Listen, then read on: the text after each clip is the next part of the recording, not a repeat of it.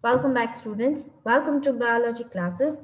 Today we are going to see 11th science biology and we are going to see the uh, skeletal system of chapter number 20 that is locomotion and movement. We have already seen uh, the introductory part and yet today we are going to start with the skeletal system of human beings, right? So framework of bones and cartilage forms the skeletal system. So how the what is made up of like what the uh, skeletal system is made up of. So that is the bones and second is cartilage, right? So in human beings, it consists of 206 bones and some cartilages, right? So the total number of bones which are found in your body, that is 206 bones. And there is also presence of some of the cartilages in your body right? The two principal division of skeletal system are, see now your skeletal system is mainly divided into two main parts. The first is the axial skeleton, right? And the second one is the appendicular skeleton. So first we are going to see about the axial skeleton and the axial skeleton of the human beings, right? That is composed of total number of 80 bones. So out of 206 bones, 80 bones are coming under the axial skeleton, right? Now, this axial skeleton, it includes skull, vertebral column, sternum and ribs, which constitute the whole axial system, right? So let's see skull, right? So the skull, you know that uh, the skull, uh, this contains 22 bones. So out of 80, like from the axial skeleton, that is total number of 80 bones, the skull is composed of 22 bones, right? So the skull is having 22 bones, right? And that is being composed of cranial and facial bones, right? So the skull is going to have two types of bones. The first is cranial bones and the second is facial bones, right? Now the cranial out of this 22 bones, the cranial bones are 18 number, right? So there will be presence of eight bones in the cranial uh, part right? And this is the, that is the cranial bones they are going to do what? The it forms the protective covering from the for the brain right? That is the cranium. Next the facial region consists of 14 skeletal systems that form the front part of skull right? See you can see over here where i'm showing the cursor cursor. This in the figure. This this all uh, bones which are formed they are being said to be uh, present in the facial uh, region for this reason these bones are known as the facial bones right? So this 14 there will be presence of 14 bones right which is present on the front part of the skull.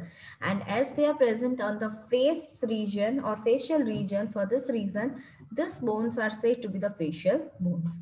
A hyoid bone is present which is a u-shaped bone is the bone which is forming the base of buccal cavity. So as you can see over here, this hyoid bone, right? So this is the buccal cavity, right? The buccal, it is at the base. So you can see this is the base of the buccal cavity. And here the presence of a U-shaped bone is present and that is the hyoid bone, right?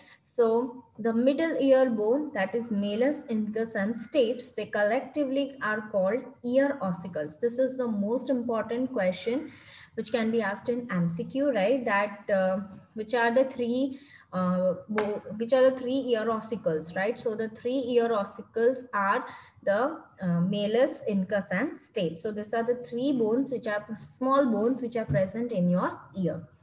Also, there is presence of vertebral column, which is going to contain 26 serially arranged vertebrae, right? So you can see here that skull, this is containing how many bones? 22 bones, right?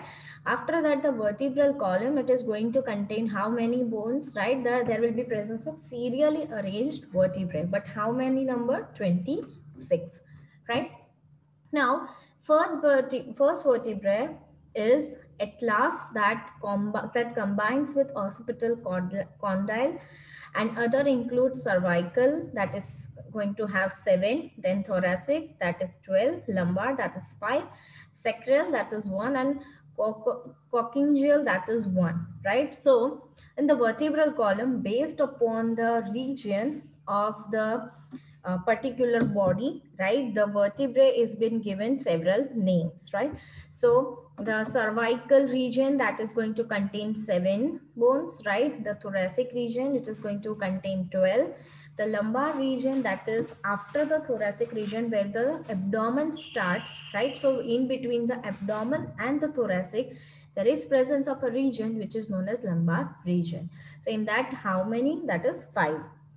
Then sacral region and the coccygeal region, that is the coccyx bone region, right? So that is present in 1, 1, right? Now, there is presence of 12 pairs of ribs which are connected dorsally to vertebral column and ventrally to sternum. So here, when we are talking about the ribs, so first was the uh, skull, which include the cranial and the facial bones, right? Second is the vertebral column, which is going to contain the 626 uh, specially arranged vertebrae, right? Sternum is said to be the chest bone, right? That is present um, on the front side of the body, right? And the ribs, they are present in 12 pairs, right? And they are connected dorsally right to the vertebral column and on the ventral side it is attached to the special chest bone which is known as sternum. So sternum is present uh, ventrally on the ventral side and the vertebral column is present on the dorsal side. And these ribs are connected to the vertebral column on the dorsal side and it is connected to the sternum on the ventral side. Now 11th and 12th rib bones are not connected with sternum and for this reason they are called as floating ribs.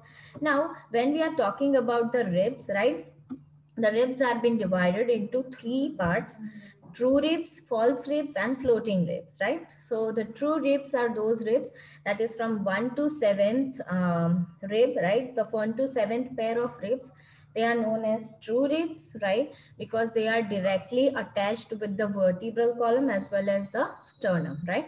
While we are talking about the 8, 9 and 10th rib, right? So from 8 to 10 rib, this three of the pair of ribs, they are connected to each other forming a common part which is connected to the vertebral column and the sternum.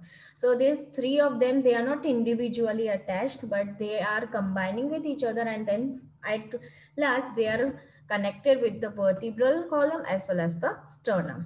And the last two uh, pair of ribs, that is 11th and 12th ribs, right?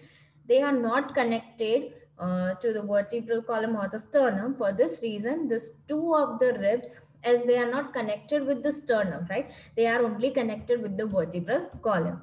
So for this reason, as they are not connected with the sternum, that is a chest bone, right? These ribs are known as the floating ribs. So this is the difference between the three different types of ribs, that is the true ribs, false ribs, and the floating ribs, right?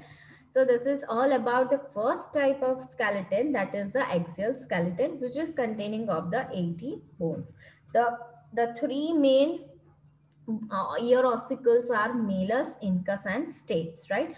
And you need to uh, mention or you need to remember about this hyoid bone, right? And you need to remember that there is there are is presence of four different lobes of your uh, your skull, right? The parietal, occipital, temporal, and the uh, the last one is the temporal lobe, right? So these are the four different lobes and based upon the this four lobes, the upper skull portion is going to have those kind of cranial bones, clear? So this is was about the first type and that is the axial skeleton. Now we are going to see about the second uh, type of skeleton, right? That is the appendicular skeleton. And this appendicular skeleton, it includes the bones of limbs and girdles, right? So the limbs, that is your hands and legs, and the girdles, that means the pelvic girdle and the pectoral girdle, right? That is the one which is connecting the limbs, right? That is the the lower limbs, that is the legs, which are connected to a particular bone that is known as girdle that is the pelvic girdle. And the second type of girdle that is the pectoral girdle where the hands or the hand limbs are connected to this upper girdle for this reason that is known as the pectoral girdle. Now each limb contains 30 bones. Now when we are talking about the legs as well as hands right? So each limb is going to contain how many bones? 30 bones, right? So let's see how it is present, right?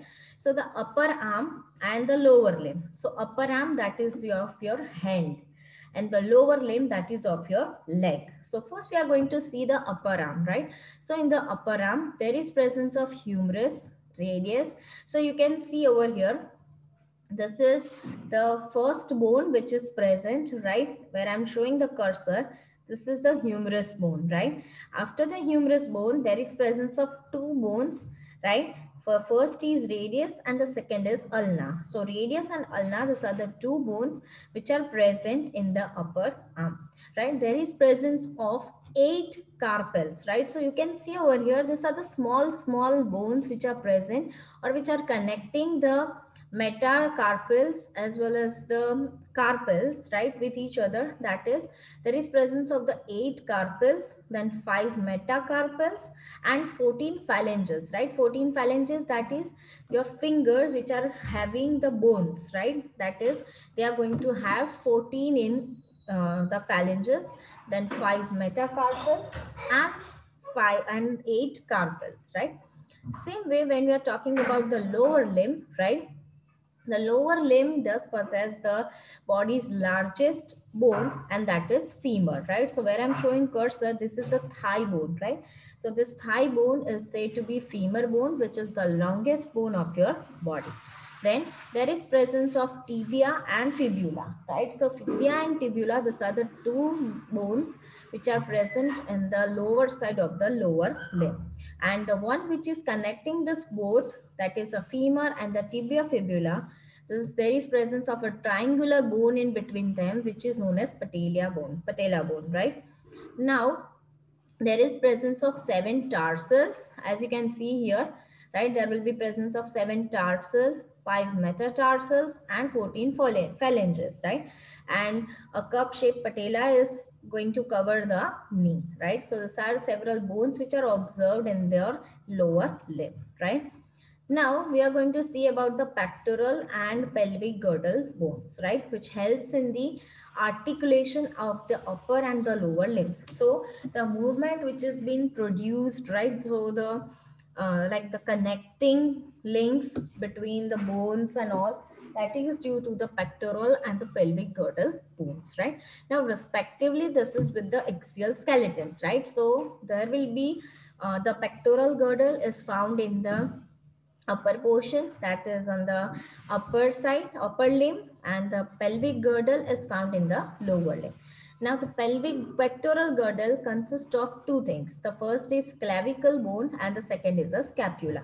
So you can see over here in the clavicle, see this is a clavicle, right? And this bone, right, where I'm showing cursor, that is the scapula bone, right? So the uh, pectoral girdle consists of a clavicle and a scapula. And pelvic girdle consists of two coxal bones and each coxal bone is formed by the fusion of three bones that is ilium, ischium and pubis, right? So the pelvic girdle, as you can see here, right? This is the coxal bone, the major one, right? And this coxal bone is present in a pair, right? So one coxal bone is made up of three bones that is ilium, pubis and ischium right? So these are the three main uh, parts of the coxal bone, right? So the pectoral girdle consists of two bones that is clavicle and the scapula.